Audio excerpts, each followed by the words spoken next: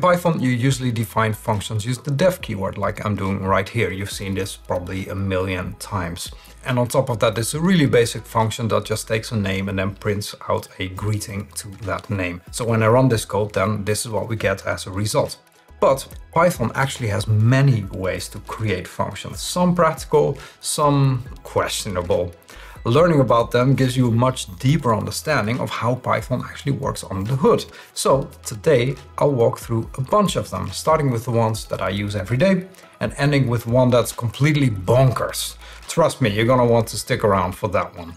The first way that I want to show you to create a function is a lambda function. And this is a one-liner function using the lambda keyword. As you can see here, a lambda function is a very simple one-liner that takes one or more arguments and that then evaluates an expression. And you can actually store this function in a variable, even though uh, that's not really a common way to do it. Of course, if you need a named function, then you should just use the def keyword. But lambda is great for little anonymous functions that, for example, you might want to use for simple throwaway functions that you need to pass to uh, functional programming tools like map and filter. Now, there are some limitations to Lambda functions. Uh, one is that it can only contain one expression, no statements, no multiple lines, etc. So don't use these for complex logic because it's going to be really hard to read.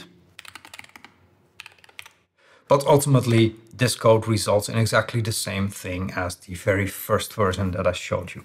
The second way to create a function is by using partial function application. I've talked about the functools package before, but in particular, functools has a partial class that allows you to take a function, apply already some of the arguments, and then it provides you with a new function. So in this case, I have a power function that takes a base and an exponent, and it does base to the power of exponent. Very straightforward. Now what you can do with partial is that you can actually take that function and apply already some of the arguments. So let's say I define another function called square that is always, of course, an exponent of 2. So then I use partial to supply it with the power function and the value of 2 for the exponent argument, like you see here. And it gives me a new function square that I can then call with a single argument. And then that's going to compute the square of the number. When I run this, then this is what you get. Partial function application is actually quite nice, especially if you need to, for example, pre-configure some function and you don't want to write a special wrapper for it. Uh, it can help you reduce some boilerplate if you're writing higher order functions, in other words, functions that get or return another function as a result. But if you're not familiar with partial function application, it might be a bit harder to read. And of course, this is not as flexible as defining a another full regular function. So take that into account when you use this. But in my opinion, partial function application is actually a nice tool and it's kind of underused in languages like Python. A third way to create functions is by using decorators and that allows you to define functions at runtime. So with decorators, you can dynamically modify the parameters or the result of a function by wrapping around it. And this is basically what that looks like. So what I did here is I created a decorator called print result or actually print result is a function that creates a decorator. Print result gets an argument, in this case a formatted string, and then it defines a decorator that basically prints the formatted string and provides it with the result of calling the function that it wraps around, if that makes any sense. Well, basically here is how you see uh, how it works. So we have a double function that takes an integer, returns another integer, and then performs some computation. What it does exactly doesn't really matter.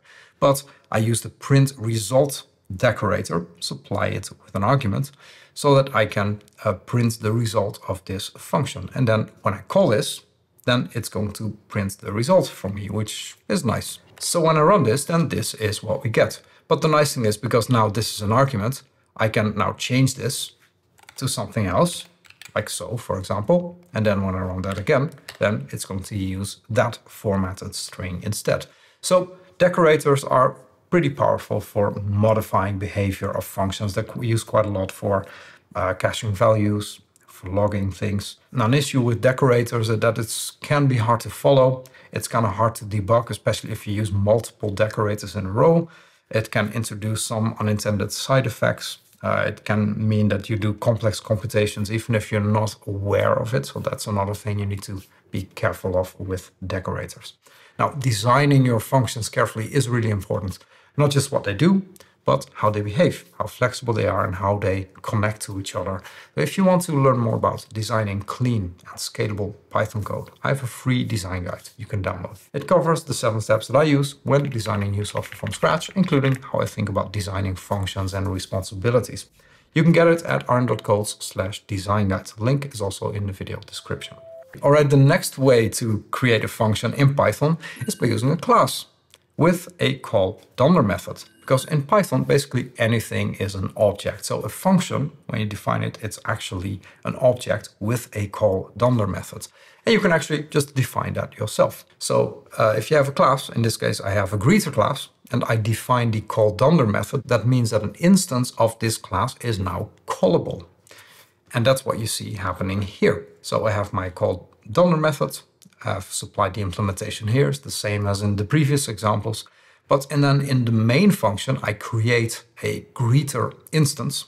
And because it has the call dunder method implemented, I can actually call it as a function. In fact, it is a function. In, in Python, this is actually how a function is defined. It's, it's an object with a call dunder method. So this is how you would do that. And let's also run this and as you can see, we get exactly the same result as in the first examples. Now there's some interesting consequences of this. This means that functions can actually store state. So you can, for example, use it to keep track of calls or something like that.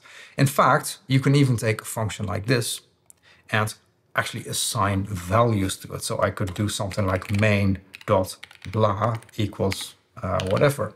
And then I can uh, print that.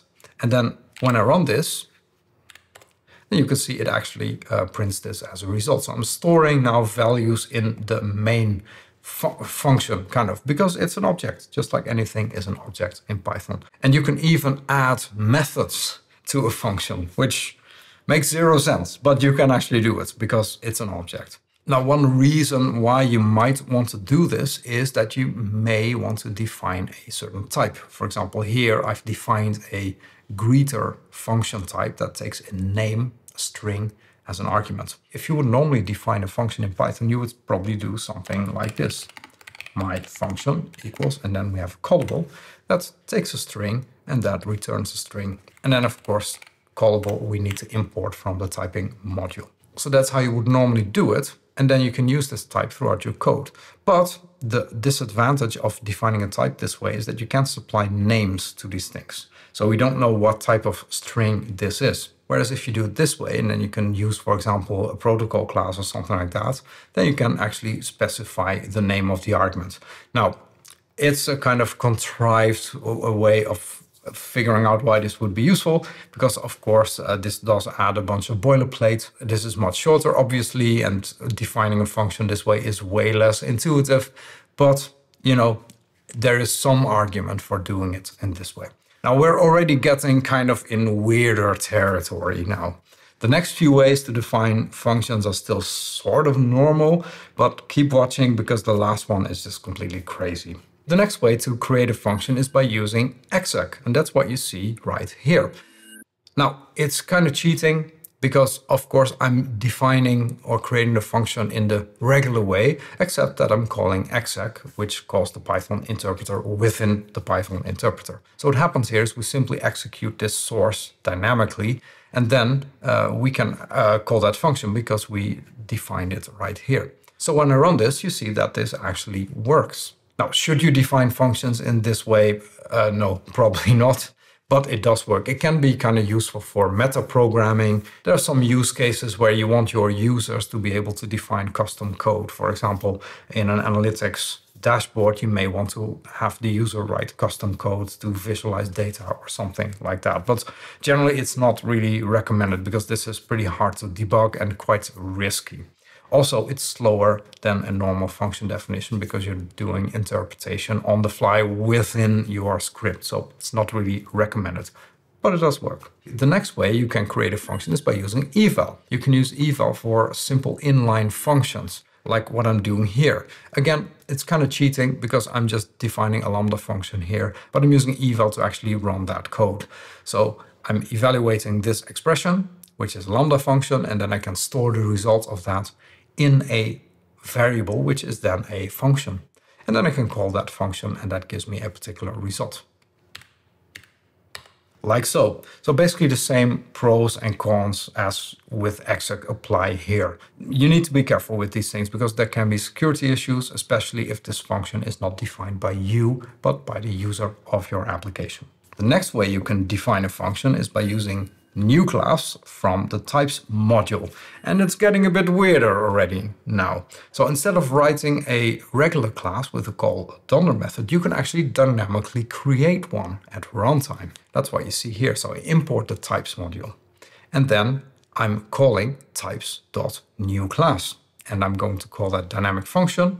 Uh, there are some other arguments that you can supply here, uh, like the basis of the class if you if you need a superclass, for example. You can also specify the arguments.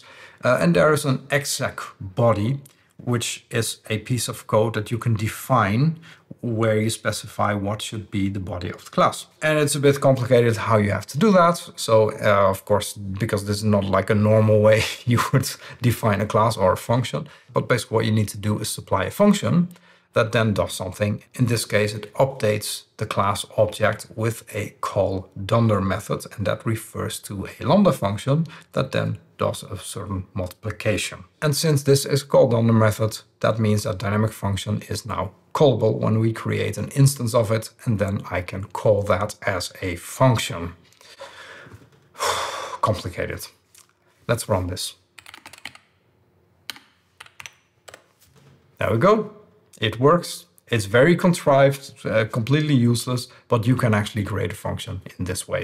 Now, maybe there are some situations where you need to do this. For example, if you need to generate many similar callables programmatically or something, but uh, I'm not really sure. Uh, in any case, I definitely wouldn't call this readable unless you really need this type of behavior. Um, so if you know a use case for this, let me know in the comments. I honestly don't, uh, except for some really low level internal thing. But this is child's play compared to the final way to create a function that I want to show you. Before I show you that, if you're enjoying this video so far, give it a like. It's a small thing, but it helps me a lot if you do that. It really does. All right, so the final way you can create a function is by doing it manually from a code object. So normally when you write a function in Python, you just use def, right? Easy. But deep down, every function in Python is actually made up of two parts. There is a code type object, which contains the compiled bytecode and all the metadata. And there is a function type, which wraps that code and it provides a callable interface. Now, technically, you can create a function manually by constructing a code type and passing it into a function type. Let's see what that looks like. So here, I'm importing the types module again, I'll show you later on why that is. But what I'm doing is first I create bytecode that loads a variable, then loads the constant 42, adds them together, and then returns the result. And then I wrap that bytecode inside a code type. That is actually what is happening here. Very complicated. Finally, I'm using types.functionType. I supply it with the code type object with globals. I give it a name and then we're going to store that in a variable. And now we have a callable Python function. And then when I call this, this behaves exactly like a normal function. And it, what it does is that it adds 42 to the input. Let me run this. As you can see, it works. But there's a caveat here. This only works in Python 3.10 and earlier. In Python 3.11 and newer, Python's internals changed completely. There's new resume opcodes that are required at the start of every function. Many instructions now have inline cache entries, and if you miss even a single byte, Python is just going to crash your program. Believe me, I tried creating a version of this code for new Python interpreters. I failed. I couldn't get it to work. If you figure out a way to do it, post it in the comments. But unless you want to learn more about how Python works internally, please don't do this. Leave raw bytecode writing to the CPython developers or stupid YouTubers like me who accidentally fell into a Python bytecode rabbit hole. Now, this was not an exhaustive video. For example, you can also define a function by importing code from a pickle file. You can directly import compiled.pyc files, and maybe there are other options. I'm curious though, how many of these ways to define functions that you already know? Do you know any other ways that I didn't mention? Does this video entice you to start writing some bytecode in your Python script? Let me know in the comments. Seriously though, when you're writing functions, there's actually a lot to consider. In particular, you need to design your function signatures correctly. I made a full video covering everything that you need to know. Check it out right here. Thanks for watching and see you next time.